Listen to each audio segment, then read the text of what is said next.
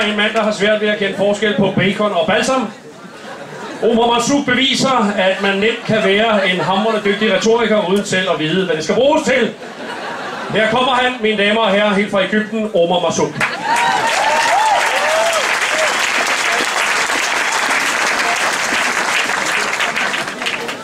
Tak.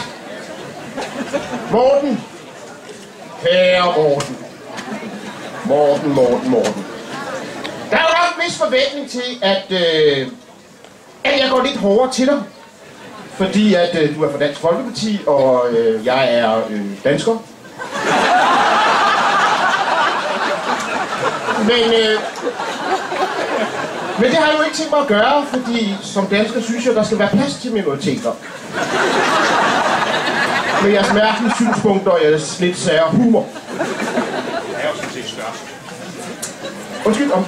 Nu er jeg sådan set jeg er det største parti i Europaparlamentet. Sådan. Ja, du er det største parti, det kommer vi til senere. Det var også det, min kæreste sagde til mig. Du er den største, men ikke ens betydende med, at den bedste. øh.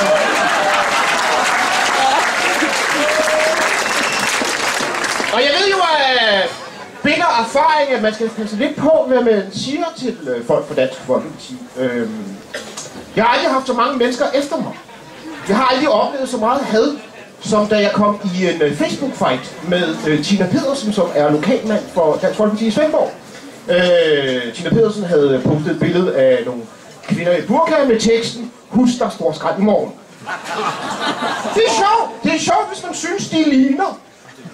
Sække. Det er racistisk, hvis man synes, de skal smides ud. Jeg kan godt forstå øh, joken. Og, øh, og så blev kaldet for islam virkelig sure og skrev, og skrev dem over alle lamter.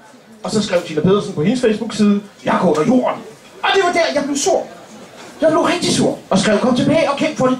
Din kylling. Og så væltede det ind med mails. Folken skrev, skriv hjem! Og jeg sad i min stue og tænkte, jeg er hjemme for helvede.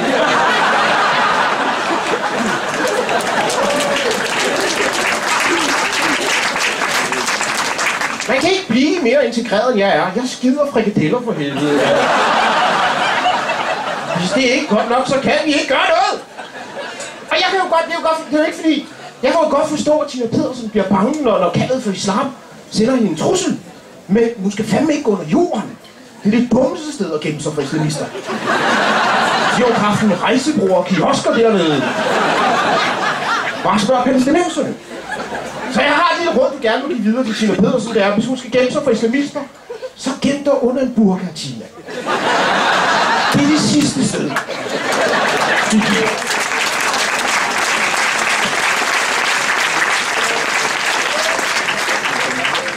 Det vil også klæde.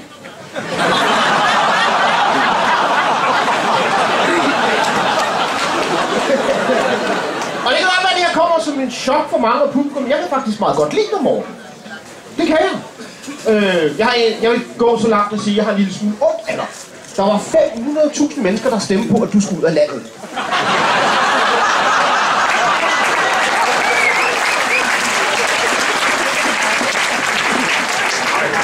Og jeg tror ikke engang, jeg kan samle så mange stemmer.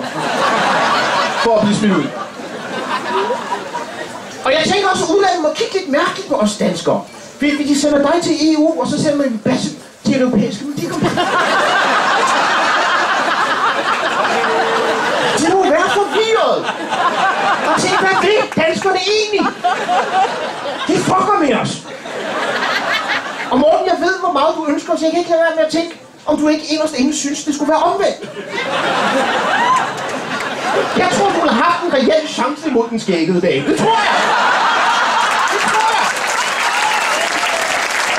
Ja.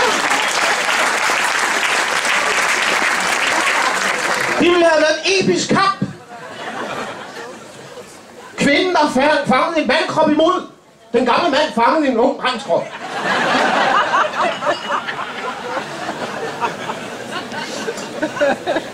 Og jeg, jeg, synes jo, jeg, synes, jeg synes, du kørte en fantastisk valgkamp. Altså, der var ikke en finger at sætte på det. Og så synes jeg lidt, du tabte hele på selve valg, valgaften. Jeg så dig og Dot gå op til Christiansborg, og du boblede. Jeg kunne se, hvordan du boblede.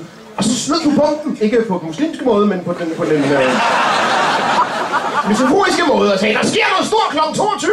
Og jeg sagde, hvad er det? Jeg kan ikke vente til kl. 22. Hvad sker der kl. 22? Jeg tænkte, der sker noget stort. Han springer ud af skabet. Han, øh, han skal giftes med Dot. Han konverterer til islam. Et eller andet.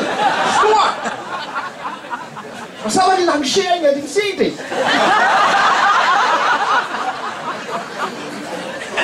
Aldrig har du skuffet en vælger så hurtigt. Det har jeg.